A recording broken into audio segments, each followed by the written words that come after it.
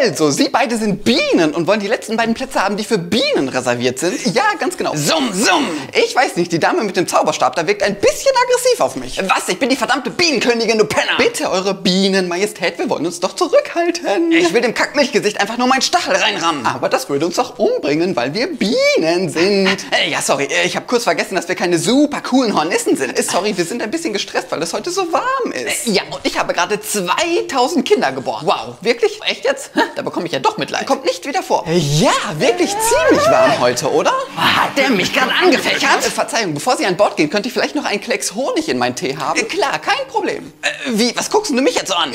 Honig. Also ich soll jetzt wirklich eine Blume fressen, die halb verdauen und dann in seinen Tee kotzen, ja?